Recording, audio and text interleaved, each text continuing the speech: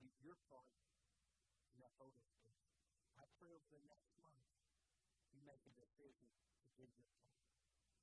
But only do your part at the vote booth. Do your part at the coffee shop, the locker room, the rodeo. Wherever it is you find yourself spending time, do what God calls you to do and stand up for righteousness.